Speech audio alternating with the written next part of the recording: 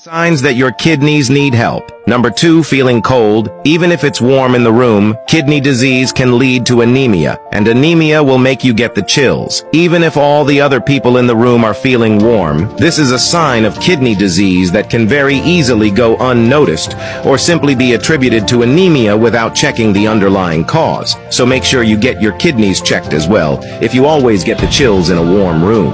Number three, shortness of breath. Being short of breath is usually attributed to heart or lung diseases.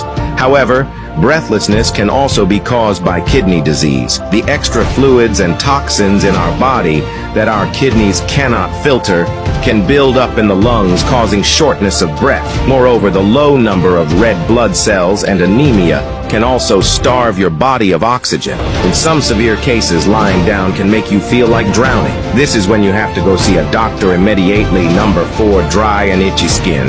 BCEAT is tearing the toxins in our body and helping fatty red blood cells.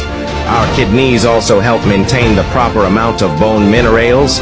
Therefore, dry and itchy skin can be a sign of failing kidneys that can no longer keep the mineral balance in your body. Moreover, the accumulation of toxins in our bloodstream can cause skin reactions of all sorts, so don't ignore these signs. Liking our video so far before we move on to the next part, don't forget to hit the like button and subscribe to our channel so you never miss out on our new informative videos.